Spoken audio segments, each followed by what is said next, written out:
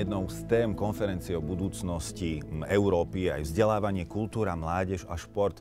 Eh, popri finišujúcej Kofoe však eh, Európa, starý kontinent, čeli novej výzve a to je ukrajinská kríza, konkrétne ruská vojenská agresia voči nášmu východnému susedovi, eh, ktorá začala 24. februára.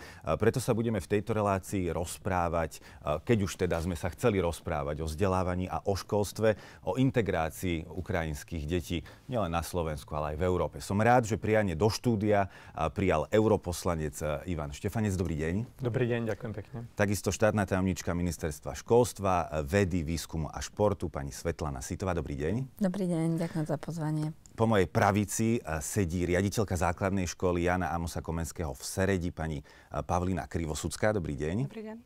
A v internetovom spojení sme s europoslankyňou eh, Luciou Ďuriš Nikolsonovou. Dobrý deň aj vám do Bruselu. Dobrý deň, ďakujem za pozvanie. Skúste nám povedať, um, ako vlastne podľa vás Európska únia reagovala na konflikt v Ukrajine? Bola tá reakcia dostatočne rýchla, uh, dostatočne efektívna možno?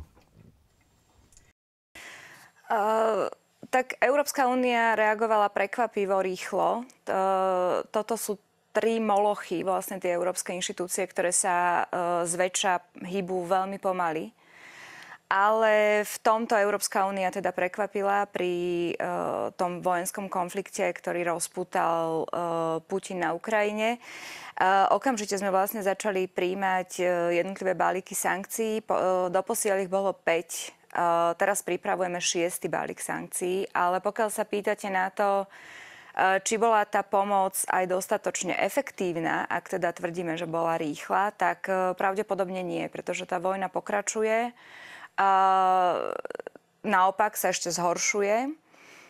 Putin v tej svojej agresivite na Ukrajine pritvrdzuje. Čoraz e, viacej ľudí a zomiera v tomto vojenskom konflikte. Mrzačené sú deti a ja si myslím, že my by sme to mali zvážiť a ten šiestý balík sankcií podľa mňa by mal už obsahovať to, po čom volajú ľudia, ktorí tomu rozumejú a odborníci, ktorí tvrdia, že ak má Rusko finančne vykrvácať, tak by sme mali zastaviť um, dovoz ruského plynu a dovoz ruskej ropy uh, pretože my na jednej strane vyzbrojujeme Ukrajinu, posielame tam nemalé finančné prostriedky a na druhej strane prakticky miliardov denne miliardu denne posielame do Ruska a je všeobecne známe, že to sú práve tie peniaze, ktoré dovolujú Putinovi pokračovať v tej agresivite a dokonca um, k tomu, aby tá, tá agresivita narastala. Takže uh, ja, ja osobne aj teda veľa hlasov z mojej politickej frak- frakcie volá potom,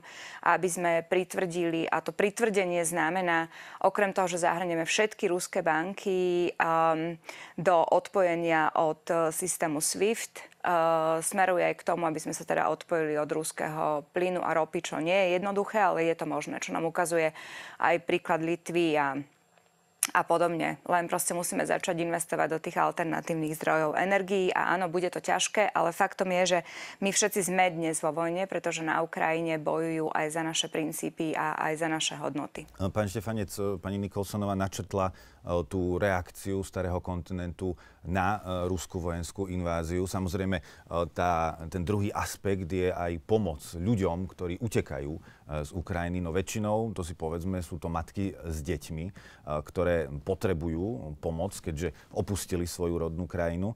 Okrem napríklad teda toho vzdelávania, o ktorom sa budeme rozprávať, ktoré možno oblasti pomoci Ukrajincom ešte vy považujete za kľúčové? Pre všetkým je pravdou, že v takejto situácii sme ešte neboli. Doteraz e, sme riešili rôzne iné výzvy, ale nikdy sme neriešili potrebu obnovenia mieru na európskom kontinente. My sme stratili mier. A tiež si myslím, že tá reakcia bola rýchla a bola primeraná. Pre všetkým tá reakcia bola v troch rovinách. V tej politickej, že okamžite sme nielen odsudili agresiu, ale v Európskom parlamente sme sa dohodli na tom, že Ukrajine treba dať e, štatút kandidátskej krajiny. To nie je málo, to je veľká politická podpora, ale to je aj de, možnosť ďalšieho čerpania európskych zdrojov. V druhej rovine je to pomoc ekonomická. Odsúhlasili sme pomoc 1,2 miliardy eur pre makroekonomickú stabilizáciu. Znamená to, že tá utečenská kríza, ktorá je pre všetkým v rámci Ukrajiny, lebo najviac Ukrajincov sa hýbe v rámci Ukrajiny z východu na západ, e, viac než 10 miliónov, tak aby mohli im byť vyprácané sociálne dávky, aby oni mohli byť e, e,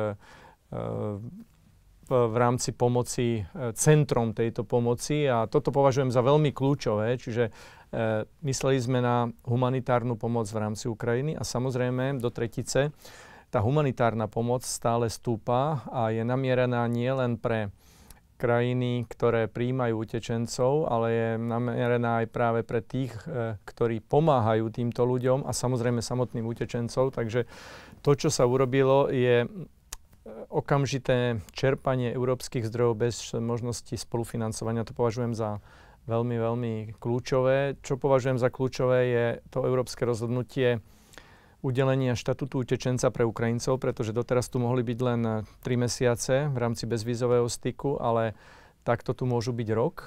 E, to je to, čo bolo naozaj veľmi, veľmi užitočné pre týchto ľudí. No a to, čo sa dá urobiť viac, tak samozrejme dá sa Eh, ich eh, integrovať eh, do spoločnosti rýchlejšie. Vieme, že drvej väčšine sú to ženy a deti, viac než 90% sú to ženy a deti. Preto je to kľúčové vzdelávanie, lebo oni samozrejme sa chcú vzdelávať. Drvá väčšina týchto utečencov je faktom, že nechce tu zostať, že sa chce vrátiť. Oni veria, že sa budú môcť kam vrátiť, veríme v to aj my. A preto podľa mňa to, čo sa dá stále viac urobiť, je tá pomoc v oblasti vzdelania vzdelávania, kde môžeme nasmerovať viac európskych zdrojov práve pre integráciu detí do škôlok, škôl a v zjednodušení administratívy, aby sme odburovali rôzne prekážky, ktoré sú v jednotlivých krajinách. Treba ale povedať, že nielen na európskej úrovni sa urobilo veľa, predovšetkým to, čo urobili najviac, urobili naši občania, ktorým patrí veľká vďaka za to, aký akým pozitívnym spôsobom pomáhajú. No a v neposlednom rade aj na úrovni slovenského štátu a parlamentu sa prijal osobitný Lex Ukrajina a veľa roboty sa urovni, robí na úrovni samozpráv. Takže je to kombinácia týchto druhov pomoci a som rád, že ten jasný politický signál vyšiel z európskej úrovne. Pani Sitová, povedzme si na rovinu, rezort školstva slovenský ešte donedávna uh, zápasil uh, s pandémiou, ktorá naozaj ten vzdelávací systém poriadnením zatriasla, tak to poviem. A teraz už vlastne slovenské školstvo stojí pred novou výzvou a to je ukrajinská kríza, integrácia ukrajinských detí. Skúste nám povedať, ako vlastne Slovenské ministerstvo školstva zareagovalo na vzniknutú situáciu. Mm-hmm. Možno, ja to tak pomenúm, že ono nestojí slovenské školstvo pred výzvou, ono skôr tieto krízy, ktoré tu nastali, tak odkryli strašne veľa vecí, o ktorých sa dlhšie hovorilo, ale nie tak intenzívne. Čiže ako keby odhalilo, absolútne obnažilo to, čo tu roky nebolo ideálne riešené alebo neriešené vôbec, len sa o tom rozprávalo. Tak ako v tom covide sa práve naši riaditeľi a pedagógovia a pedagogičky uh, hneď museli prepnúť do IT odborníkov a museli mať zručnosti, aké digitálne technológie využiť, aby urobili to vzdelávanie zaujímavé. Okrem toho sme tu mali veľkú skupinu detí, pre ktoré, ktoré sa nevedeli prepnúť do toho digitálneho sveta. Tak e, áno, tak teraz sme sa vlastne prepli do krízy, kde prichádzajú deti, u ktorých je jazyková bariéra. A prečo spomínam, že, že toto je vec, ktorá sa tu neriešila dlho, lebo tu máme kopec detí, aj našich, ktorí prichádzajú do nášho školstva s jazykovou bariérou ale stále sme to ponímali ako bariéru na strane detí. Teraz sme pochopili s tým, že, že žiaľ, že až pri tejto kríze sme pochopili, že to nie je bariéra na strane detí, ale je to bariéra v našom školstve. Ja budem teraz veľmi, uh, že nebudem konkretizovať, lebo sme, lebo sme nenastavovali, nenastavovali tie podporné mechanizmy. To znamená, že s tým, s čím sa školstvo musí vysporiadať, tak to je vlastne práca detí, ktorí prichádzajú do nášho školstva s iným, uh, s odlišným materinským jazykom my to máme nazvať v našom školstve ako národnostné školstvo, ale nie všetky skupiny národnostné na Slovensku, napríklad rómsku národnostnú menšinu, sme im nevytvárali tieto možnosti, pre m, strašne veľa dôvodov, ale tie dôvody sme mali vymenované a neboli, neboli riešené. A teraz tu máme ďalšiu skupinu detí, ktorí k nám prichádzajú s iným materinským jazykom, s odlišným ako slovenským. A to je skupina detí, ktorí prichádzajú ako, ako deti utečencov alebo teda detí žiadateľov o azyl a dočasné útočisko. Zároveň, okrem tohto batpôšteka, so sebou nesú aj to, že prichádzajú z krajiny, kde je vojna. A to, je, to sú deti, to sú mladí ľudia, ktorí prichádzajú automaticky s posttraumatickým syndromom a ten má rôzne prejavy v tých školách. Čiže s tým, s čím sa musíme vysporiadávať, sú tri oblasti. Tá prvá je samozrejme finančná. Na všetko, čo ideme meniť, tak potrebujeme financie. A to budeme asi aj neskôr hovoriť, že tam je neskutočná pomoc práve Európskej únie a to, sme vôbec členom Európskej únie. Druhá, okrem tej finančnej, je pomoc samozrejme metodická pre našich riaditeľov a pedagógov, ako pracovať s, s deťmi, ktoré prichádzajú z krajiny, kde je vojna, s deťmi, ktoré prichádzajú s iným a, materinským jazykom a s deťmi, ktoré prichádzajú a majú a, rôzne psychické ťažkosti. S týmto batvoštekom oni prichádzajú, či už ako malí alebo mladí ľudia.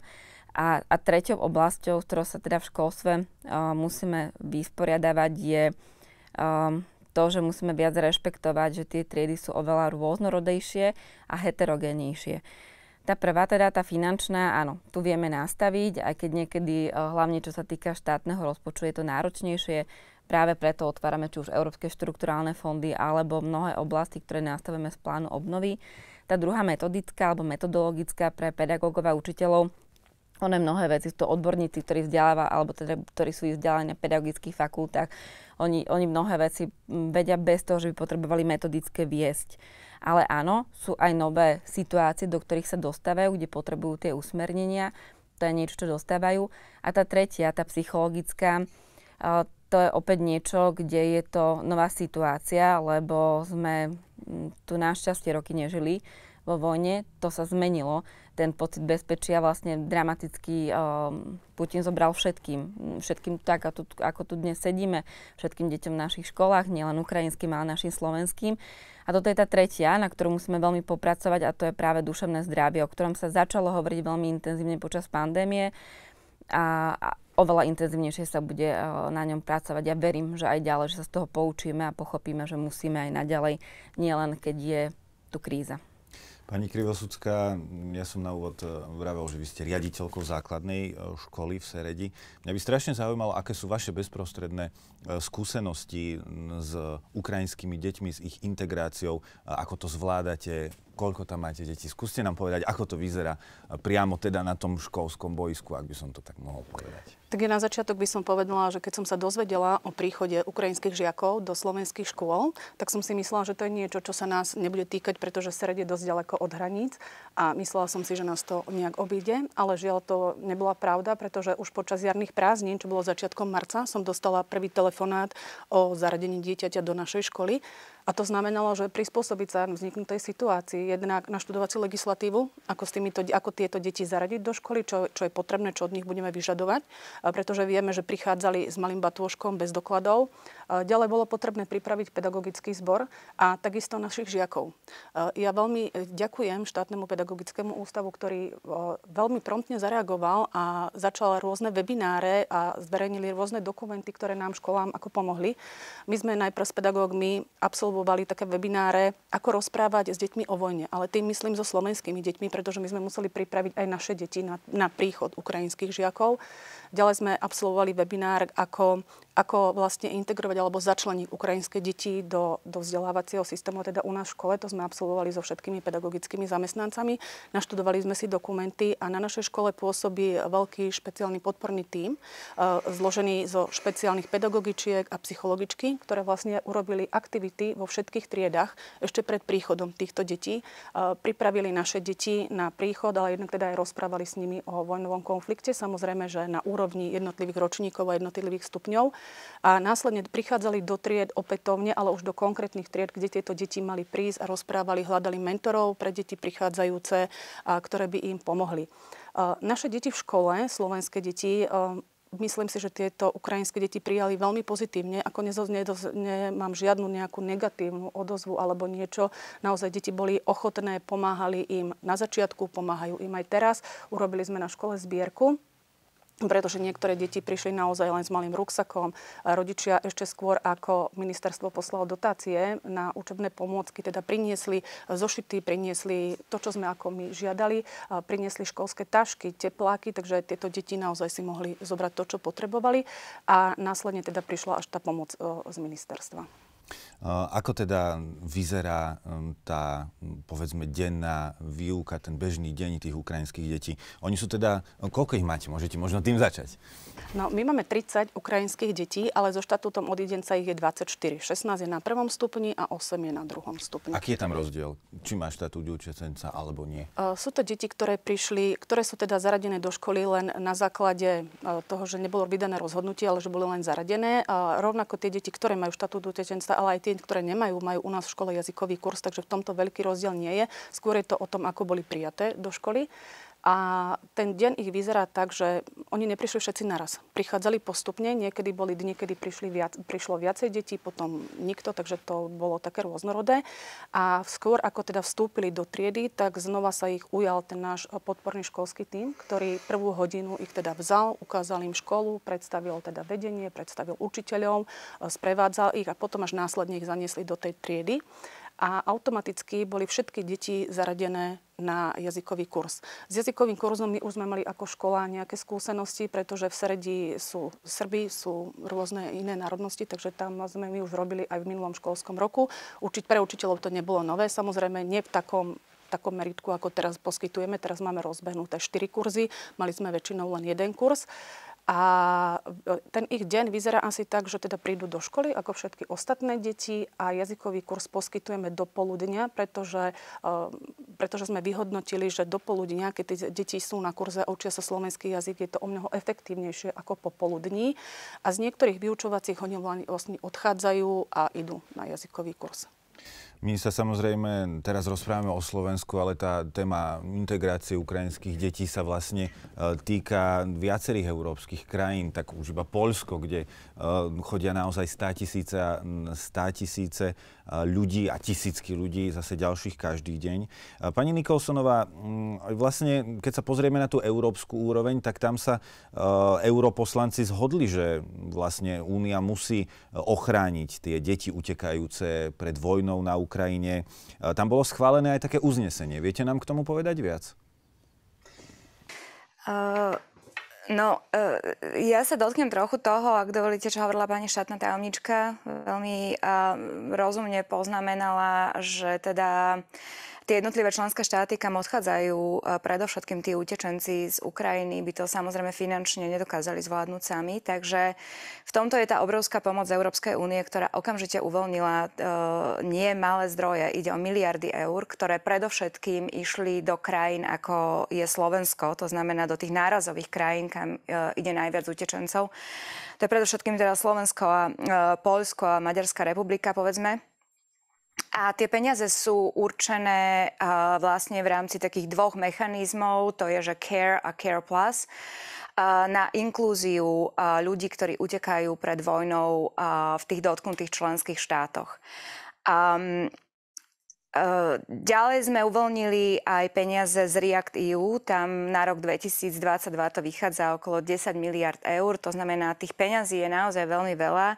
A čo sa týka Slovenska, tam je ešte špecifická situácia, pretože Európska únia, alebo teda Európska komisia rozhodla, že my aj tie peniaze, ktoré sme doteraz nemali vyčerpané zo starého programovacieho obdobia, to znamená zo starého rozpočtu Európskej únie, budeme môcť míňať na utečencov z Ukrajiny, na odídencov z Ukrajiny oveľa dlhšie, ako sme pôvodne mohli.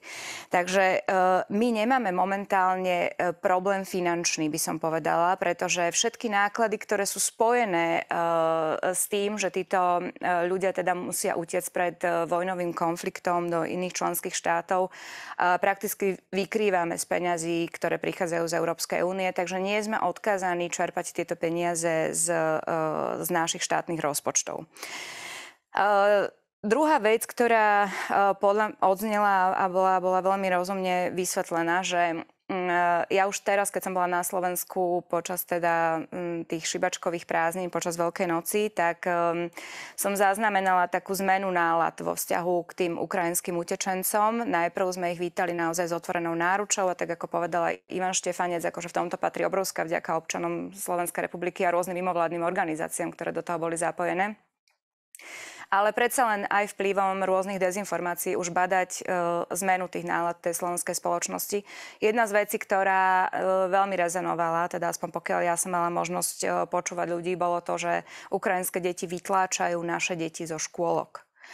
A tu by som chcela povedať, že v tomto sa úplne zhodujem s pani štátnou tajomničkou, že táto kríza, ktorá tu momentálne je a je to kríza obrovských rozmerov a zažívame ju naozaj prvýkrát, ona odkrýva to, čo tu celé roky nefungovalo. A to sa netýka len nášho školstva, ale aj, pretože táto relácia je určená teda predovšetkým tomu vzdelávaniu. A to je napríklad ten nedostatočný počet e, miest v škôlok. Toto je problém, o ktorom sa na Slovensku hovorí minimálne od roku 2010, teda čo ja vnímam, keď som vstúpila vôbec do politiky. A aj v tomto Európska únia vyčlenila nie malé peniaze na dobudovanie kapacít v predškolských zariadeniach. Žiaľ, Slovensko patrí medzi krajiny, ktoré to nedostatočne využili a preto sa teraz občanom, a to teraz nie je kritika akože e, súčasného vedenia ministerstva, Hej, toto je, toto je vec, ktorú my pred sebou tlačíme veľmi dlho a, a neboli sme schopní doposiaľ na ňu zareagovať. A preto sa našim občanom môže dnes zdať a preto to dezinformačné uh, weby zneužívajú na obrátenie nálady uh, vo vzťahu k tým, k tým ukrajinským utečencom, ale to nie je ich problém. To je problém, uh, by som povedala, tých, tých predošlých vlád, ktoré nedokázali uh, využiť náplno peniaze, ktoré prichádzajú z Európskej únie na dobudovanie kapacít v tých škôlkach. A posledná vec, ktorej by som sa dotkla, to je, e, to je tiež to, čo hovorila pani štátna tajomnička, že my sme žiaľ sa dnes tvár, dodnes tvárili, že v našich škôlkach a školách sa učia iba deti, ktoré majú materinský jazyk slovenský. My sme sa takto macožsky postavili k rôznym menšinám, ktoré sú zastúpené na území Slovenska vo veľmi vypuklej miere k deťom z rómskych komunít, predovšetkým z marginalizovaných rómskych komunít. A teraz nás to dohnalo, pretože my ako keby nemáme vytvorené to portfólio, e, čo sa týka našich škôl škôl a tried pre deti, ktoré majú iný materinský jazyk ako slovenský a nemáme v tomto žiaľ ani skúsenosti, takže my tu dobiehame oveľa viacej ako možno iné členské štáty. Poslednú vec, ktorú poviem, že Európska únia nemá prakticky priame páky vstupovať do tých vzdelávacích systémov a do toho, ako sa jednotlivé členské štáty vysporiadajú s tými deťmi, ktoré vstupujú do ich systémov, pretože školstvo je výlučnou kompetenciou e, členských štátov. Čo Európska únia môže urobiť, a to aj urobila, je na, na jednej strane uvoľniť tie finančné prostriedky, na druhej strane koordinovať, e, ale to iba odporúčaniami. A ona tie odporúčania vydala. Okrem iného, Európska e, komisia vyzvala na to, aby členské štáty uznávali diplomy, kvalifikácie a obdobia vzdelávania v prípade napríklad ukrajinských pedagógov, ale napríklad aj zdravotných e, pracovníkov. A v tomto si myslím, že Slovensko e, zaostáva za niektorými členskými štátmi, pretože mnohé členské štáty dnes napríklad zamestnávajú Ukrajincov ako pedagógov, samozrejme tých, ktorí na to majú e, to vzdelanie príslušné, alebo minimálne ako asistentov učiteľov. A toto si myslím, že by bola veľmi dobrá cesta, pretože tak ako hovorila aj pani riaditeľka, samozrejme, že tam náražame na tú jazykovú e, bariéru a preto školy školy musia robiť e, tie jazykové prípravy pre, pre tieto deti, ale myslím si, že, že veľmi schodnou cestou by naozaj bolo um, vytvoriť tie miesta pre uh, Ukrajincov, ktorí by pôsobili ako asistenti uč- učiteľov na našich školách. E, pani štátna, toto by ste mohli možno ešte doplniť a uviezť na pravú mieru, že či naozaj je to tak, ako niektorí tvrdia, že teda ukrajinské deti vytlačajú uh, slovenské deti zo škôlok? Ja si dovolím reagovať, že uh, no, Klamala by som, keby som povedala, že ten problém s kapacitami tu nemáme, lebo a tak ako bolo poznamenané, že, že ani nielen tých 12 rokov, ale niekoľko, možno 10 roční, tu zatvárame oči pred tým, že sa rozrastajú um, aglomerácie mestské napríklad a nestávajú sa, nebudujú sa popri tom aj materské školy a ško- materské školy a základné školy napríklad. To znamená, že výstavba v mnohých obciach a mestách uh, vyzerá tak, alebo teda v rámci toho územného plánovania, že hod vieme, že sa tam vystavia niekoľko niekoľko panelákov a niekoľko domov, kde bude mladých rodín, tak tá samozpráva vlastne ako keby nemá povinnosť, že zároveň ako tam buduje m, tie sídliska, tak vybudovať si napríklad materskú školu. To je akoby jeden problém, ktorý tu samozrejme, že dlhodobo vyriešime ho za dva roky, ale ani za štyri. Zároveň sme tu mali ale naozaj možnosť eh, čerpať európske štrukturálne fondy, napríklad na dobudovanie materských škôl. To, prečo to, tá možnosť tu bola, prečo napríklad samozprávy ju nevyužili pri materských školách, eh, je, že tam muselo byť spolufinancovanie. Inými slovami, že eh, mesto si muselo nájsť zdroje na to, aby vybudovalo materskú školu. Nás sa môže zdať, že nové je to jednoduché. Pri financovaní mnohých miest to až také úplne jednoduché nie je ale aj z toho dôvodu, vlastne keď sa teraz kreoval plán obnovy a odolnosti, tak z toho dôvodu pri investíciách alebo pri budovaní kapacít, či už teda materských alebo základných škôl, tak tam už je 0% spolufinancovanie.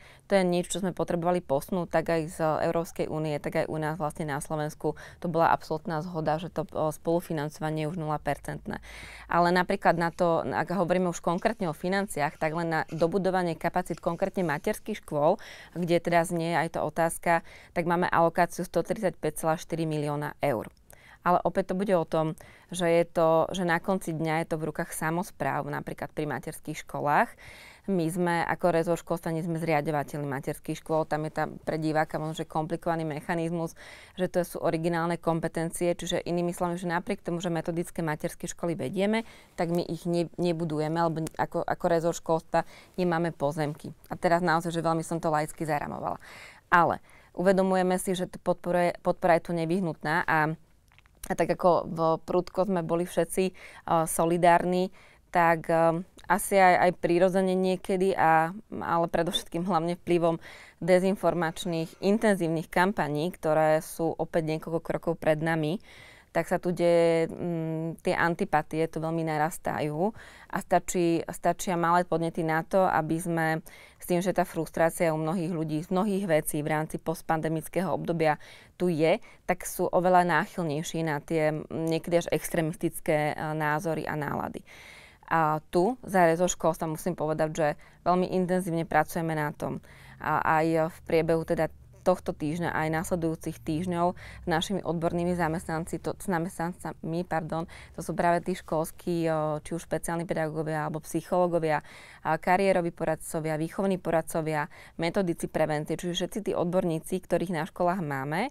A ak ich na školách nemáme, alebo máme aj také školy, kde nie sú, tak tam potom poradenské centra budeme pracovať na tom, aby sme zvládli, ak sa napríklad v škole bude diať niečo, nejaké úplne že negatívne interakcie medzi žiakmi. Čo chcem povedať? Môže sa stať, že, že tu budú aj nejaké prvky agresie, nejaké výbuchy hnevu.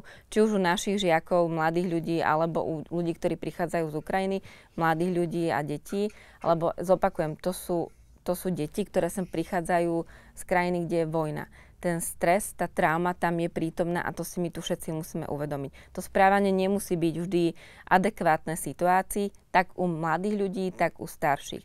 A teraz my Slováci, ktorí mm, sebe máme veľmi veľkú dávku tolerancie, ale niekedy aj veľmi veľkú dávku netolerancie voči čomukoľvek, tak budeme vystavovaní tomu, že budem musieť niekedy asi rešpektovať aj v tej triede, že príde moje dieťa, ktoré mi povie, že v tej triede bol chlapec, ktorý zrazu počas hodiny začal kričať alebo sa rozplakal a narušil tú hodinu.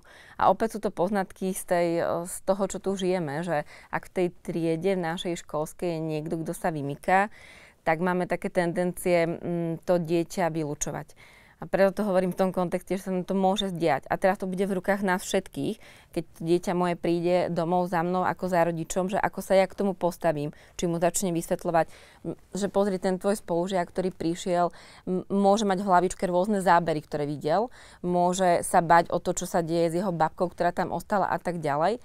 Alebo zaujímavý postoj ako rodič, že začnem mm, byť nespokojný, že začnem verbalizovať, čo všetko je zlé, že začnem verbalizovať to, že dávame tu len tým, pomáhame len Ukrajincom a, a v tom budeme podporovať to správanie aj toho dieťaťa.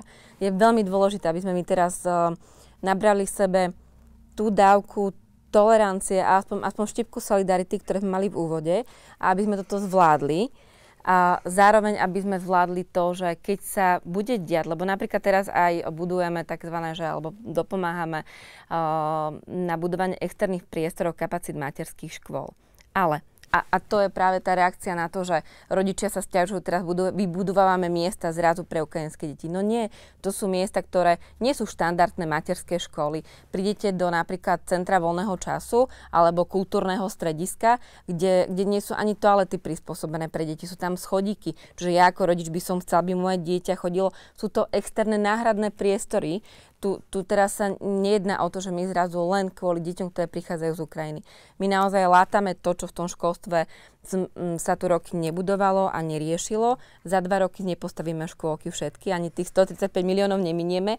A vždy je dobré, keď ja iba dokončím, že keď uh, mám akékoľvek takéto postoje, ja ako ktorýkoľvek divák, diváčka, ktorí nás pozerajú, nech skúsia ísť pozrieť do tých externých priestoroch materských škôl, že to nie sú tie štandardné škôlky, tak ako ich poznáme, tam, kam chodia napríklad mnohé, uh, mnohé škôlkárske deti.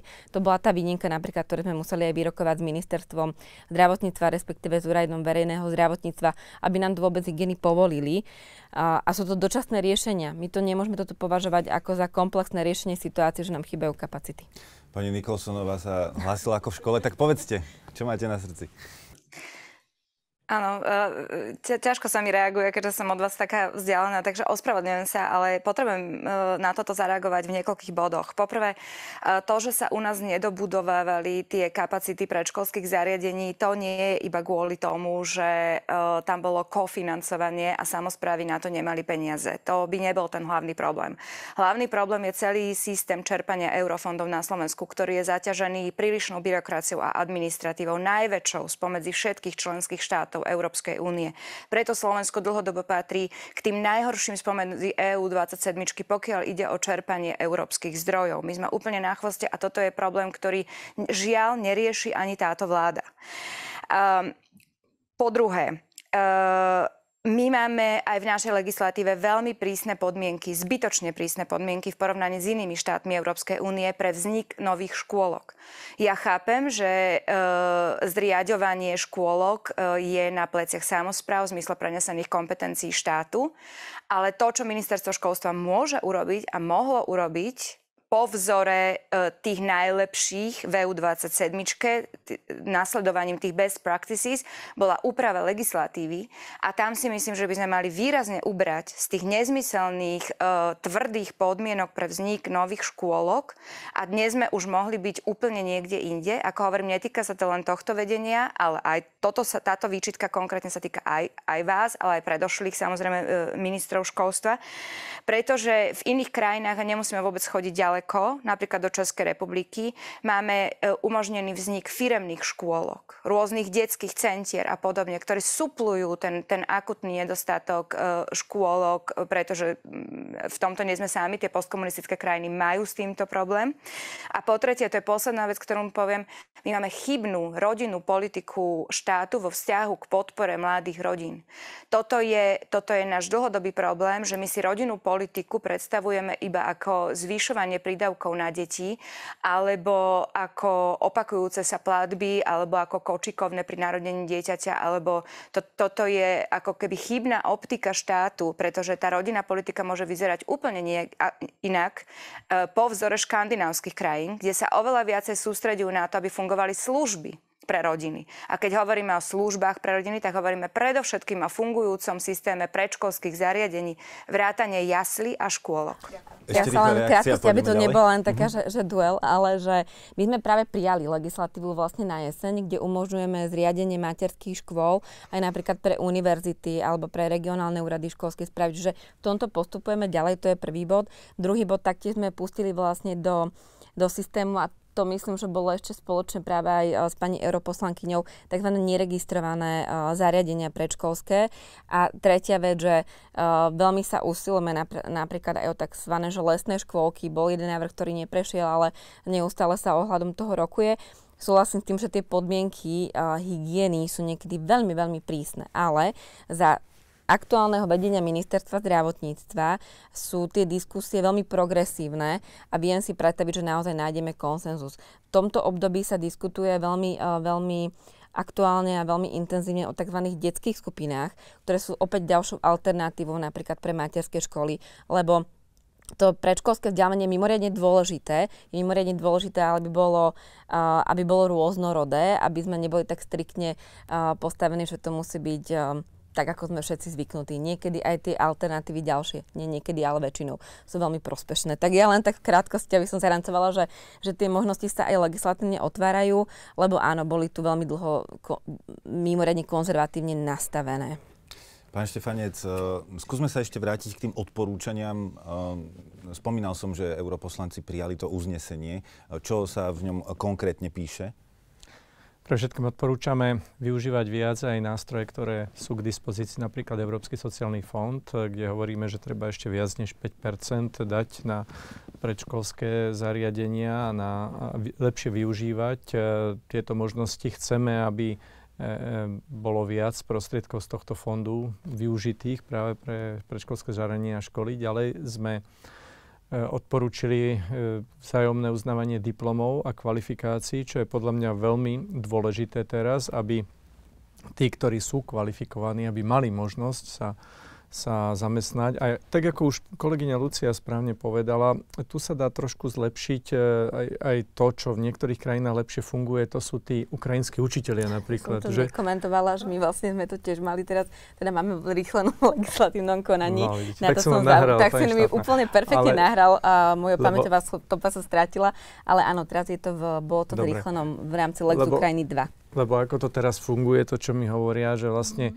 tí Češi, Poliaci zamestnávajú ukrajinských učiteľov, u nás musia podľa legislatívy ísť na nejaký posudok psychologický, kde tí psychológovia nevedia ani podľa čoho majú posudzovať. Čiže som rád, že, že sa to bude riešiť.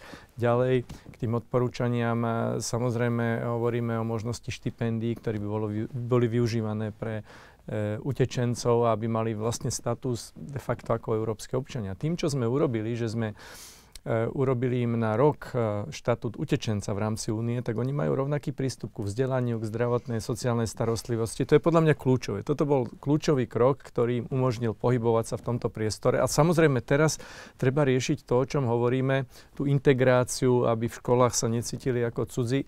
Ja si myslím, že napriek všetkým výzvam je tu aj niečo, čo je veľmi pozitívne práve pre tie naše deti, ktoré sú v školách a E, to je taká tá možnosť naučiť sa prekonať tie kultúrne rozdiely, potom schopnosť pomáhať a proste, že im to dáva nový rozmer aj tým, tým našim deťom a pedagógom nepochybne samozrejme, že aj oni, oni sa učia a oni dávajú do toho kus svojho ja a kus, e, kus výchovy, ktoré, ktoré predtým nemohli poznať, že? lebo tu predtým nebolo toľko toľko detí, utečencov. Je to nová skúsenosť pre všetkých. Táto ruská invázia nás e, postavila všetkých do novej situácie v rôznych oblastiach života, ale práve pre tú generáciu novú, ktorá, ktorú, ktorú vychovávajú vzácni pedagógovia, tak to umožňuje aj určite nabrať nové skúsenosti, ktoré potom môžu v dobrom využiť v budúcnosti, lebo ten svet je o prekonávaní kultúrnych rozdielov, o solidarity a vzájomnej pomoci. Čiže berme to aj tak, že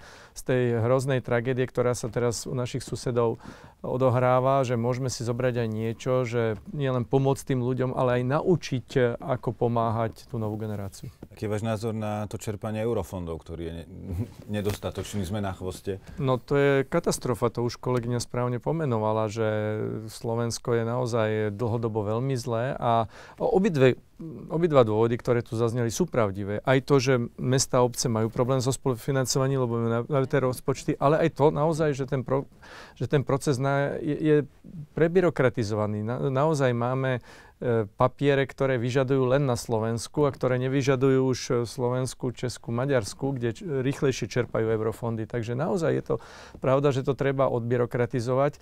Ja mám také zmiešané pocity. Na jednej strane vidím súčasnú vládnu garnitúru, že to chce riešiť, čo je pozitívne. Na druhej strane zatiaľ nevidím nejakú zásadnú zmenu a to, to sa teda týka riadiaceho orgánu hlavného ministerstva, e, ktoré si to zobralo pod seba a trošku mám obavy, ako keby to bolo príliš centralizované. Z môjho pohľadu ten proces treba odbyrokratizovať a práve decentralizovať. Krajiny, ktoré úspešne čerpajú eurofondy, sú práve tie, ktoré decentralizovali tieto procesy a pretože lepšie mesto vie, čo potrebuje škola ako, ako na ministerstve, kde majú svoje úlohy, svoje výzvy, ale proste nemôžu byť zodpovední za všetko. Čiže ja by som tam dal viac decentralizácie. To by sme sa práve mohli opýtať pani riaditeľky, ako to vníma uh, toto celé. Máte pocit, že vám, ja neviem, samozpráva alebo kraj alebo ministerstvo, kto má vlastne s týmto všetkým pomáha? A myslíte po finančnej stránke? Uh, myslím po finančnej, možno aj uh, z hľadiska nejakých usmernení, čo by ste mali robiť. Z tej finančnej stránky to bolo ministerstvo, ktoré vlastne poslalo jednorazový príspevok na ukrajinských žiakov. Z tohoto príspevku my ako škola sme sa rozhodli zakúpiť tablety, kde vlastne deti ich vedia využívať vo vzdelávaní, kde napriek tomu, že tieto naše jazyky nie sú až tak e, rozdielne, ale nie sú ani rovnaké, sú tam slova, ktoré tie deti naozaj potrebujú cez prekladač, ako si obzjasniť, naučiť. Takže toto bol jeden dôvod. Takisto sme kúpili učebnice, ale e, potom sme potrebovali dokúpiť lavice, pretože pribudlo nám 30 detí a my nemáme na sklade 30 lavíc, 30 stoličiek, a takže toto bolo niečo. Zatiaľ sme to platili z našich peňazí, ale pôjdeme cez dohadovacie konanie, a takže dúfame, že teda v tom budeme úspešní a bude to preplatené. Ale na to sú tiež európske prostriedky, než na to škola si vždy musí vlastne požiadať, áno. áno. cez dohadovacie konanie a vlastne rezorty, to, čo bolo spomenuté, že potom to ide z toho balíku pre jednotlivé krajiny, kde Slovensko akoby v tej prvej línii, z ktorých sa to potom bude refinancovať. Dobre, narazíte na nejaký problém, kam ho eskalujete?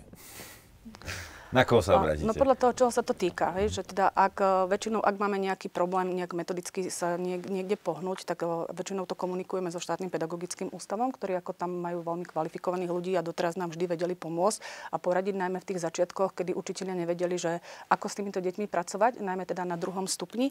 A pokiaľ máme nejaký, nejaký finančný, to, nedostali sme sa ako do nejakých finančných problémov v súvislosti s deťmi z Ukrajiny, takže toto sme ešte zatiaľ neriešili. Rozprávali ste, že ako to vnímajú deti, ako to vnímajú ukrajinské deti a ako to vnímajú túto situáciu učitelia? Možno nejaké, uh, nejaké ťažkosti, ktoré s tým majú, alebo no povedzte, toto ma zaujíma strašne, že ako to vníma aj tá druhá strana. Je to rozdielne, či sú to učiteľia prvého alebo druhého stupňa. Učiteľia prvého stupňa sú s tými deťmi celý deň v triede. To znamená, že oni už vedia, ako to dieťa reaguje, ako je ráno nastavené, čo ono ovládá, pretože väčšinou ten kurz aj zastrešujú učiteľia prvého stupňa. A pokiaľ je to na dom druhom stupni, tam je to horšie, pretože učiteľ do, do triedy prichádza len na jednu konkrétnu vyučovaciu hodinu a on to dieťa nepozná až tak ako ten prvostupniarský učiteľ. Bolo to určite náročnejšie, aby si oni urobili nejaké tempo práce, aby si zvykli čo s týmito deťmi, ako pracovať. Veľmi nám pomohli pracovné listy, ktoré, ktoré robili kolegovia v Čechách cez eh, projekt vlastne, ako teda učiť takéto deti cudzincov. A tam sme sa vlastne inšpirovali, že teda napríklad na hodine biológii my nemôžeme chcieť od dieťaťa nejaké také vedomosti, ktoré žiadame od našich detí, ale naozaj musíme stavať na slovnej zásobe a ísť cez obrázky a cez spájanie slov a, a týmto spôsobom. Takže tie ne, eh, určite neboli nadšení, pretože po, po covide a po období období, kedy majú ešte naše deti stále ťažkosti so vzdelávaním a, musia riešiť tieto problémy, sme vhúpli naraz do nejakej úplne inej situácii a ktorá si vyžaduje o mnoho viacej práce, viacej prípravy, pretože oni tie pracovné listy musia tvoriť, tvoria ich niekedy na tom prvom stupni dvojazyčne, aby pomohli a uľahčili tú prácu deťom. A ukrajinské deti na druhom stupni, ako sa majú, ako sú možno, uh, už, už viete nejako posúdiť, že napríklad e, ten ukrajinský školský systém, uh, v čom majú možno oni nedostatok nedostatky, v čom vynikajú. Lebo mňa napríklad e, zaujal nedávno e, britský denník e, The Times písal, že napríklad ukrajinské deti vynikajú v matematike. A teda konkrétne to hovorili, že talianskí a francúzskí učitelia, ktorí boli teda až prekvapení, že, že akí sú šikovní práve konkrétne v matematike. Vidíte aj toto vy, že možno v niektorých tých predmetoch sú dajme tomu aj šikovnejšie alebo lepšie už pripravení ako slovenské deti? My nemáme takúto skúsenosť. Na tom druhom stupni tie deti väčšinou sú rozdelené na dve skupiny. To sú deti, ktoré čakajú, že sa vrátia naspäť a oni nemajú snahu nejak sa vzdelávať. Uh, väčšinou prácu v škole, tak uh, nechcem úplne povedať, že ignorujú, ale nepracujú alebo odpovedajú učiteľom, že oni nevedia, nerozumejú. Uh, s nimi je taká ťažšia tá práca. A potom sú to deti, ktoré už vedia, že tu zostávajú a tie sa snažia. Toto o tom, o, úspechu detí v matematike som čítala aj ja, preto som sa na to pýtala svojich kolegov a práve matematikári mi povedali, že nie, že tie deti im tvrdia, že proste, že to nevedia, ale pán učiteľ fyziky chválil, že teda, že sú v popredí ako naše deti, že vedia tú fyziku lepšie mm-hmm. na druhom stupni. Nie, možno, že doplním iba jednu komparatívnu vec, že na Ukrajine tá matematika je posunutá ako keby o rok dopredu. Čiže u nás vznikal, alebo aj keď sem prichádzali, tak mnoho také ten pseudodojem, že v matematike sú lepší ale bolo to o tom, že to, čo sa napríklad u nás preberia, preberá v štvrtom ročníku, oni preberajú už v treťom. Čiže ako keby sú tu takéto tie, tie mikro rozdiely. Samozrejme, akože ono ich je mnoho. Sam, napríklad na telesnej výchove sa nedelia chlapci a dievčatá, ako u nás na telesnej, čo boli veľmi prekvapení, že prečo napríklad na telesnej výchove majú cvičiť oddelené, že ono ich je viacej ale, ale určite to, čo aj hovoríme, že, že moc neporovnávať. Jednoducho tak, jak neporovnávať vzájomne deti, tak neporovnávať teraz slovenské a ukrajinské, lebo je to, je to odlišný systém, ale samozrejme, že v mnohých tých obsahových veciach je totožný.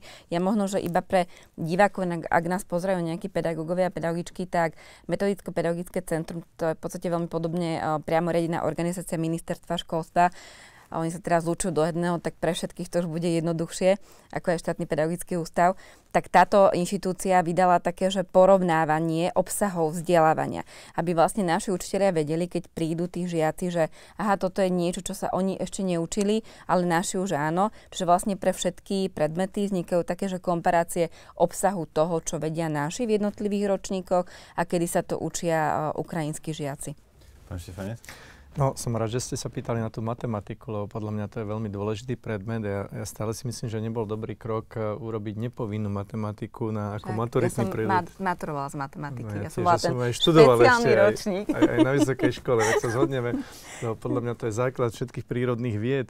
A zvlášť dnes, keď uh, potrebujeme viac a, a viac IT špecialistov, to je základ celej digitalizácie, tak podľa mňa aj stojí za to vrátiť sa k tomu, pretože tá, tá matematika je potrebná na všetkých stupňoch.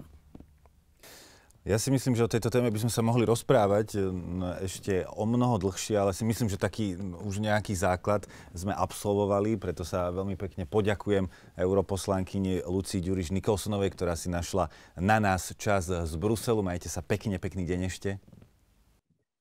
Ďakujem veľmi pekne za pozvanie a e, veľmi držím palce teda pani riaditeľke a všetkým riaditeľkám a riaditeľom, ktoré majú momentálne pred sebou tú výzvu začlenovať ukrajinské deti na tie školy. A veľmi srdečne pozdravujem pani štátnu tajomničku. Veľmi ma prekvapil váš prístup e, k tejto téme. Prvýkrát sme sa takto stretli, tak uh, som vám chcela povedať, že veľmi dobre to čítate podľa mňa. Ďakujem za účasť v diskusii aj pánovi europoslancovi uh, Ivanovi Štefancovi, pani štátnej uh, tajomničke, pani Sitovej a takisto pani riaditeľke, pani Krivosudskej. My ďakujeme za pozvanie. Šialene rýchlo to ušlo, takže by sme to mohli zopakovať. A tiež ma veľmi tešilo. Mne sa zdalo tiež, že sme len začali rozoberať tie témy. A už aj končíme. Ďakujem vám za pozvanie. Pekný deň. Veľmi pekne ďakujeme.